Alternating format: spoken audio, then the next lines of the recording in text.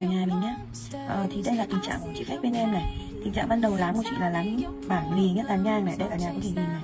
Láng kín hết cả hai bên là má nhé đó đây là tình trạng ban đầu.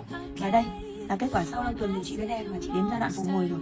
Da của chị bây giờ là à, trong tình trạng là không tì vết này. Căng trắng hồng tự nhiên luôn nhá. Sắc tố da trong veo luôn ạ. Đấy cực kỳ là khỏe luôn nhá cả nhà có thể nhìn.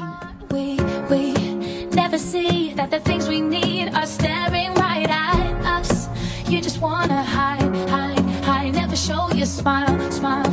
Stand alone when you need someone, it's the.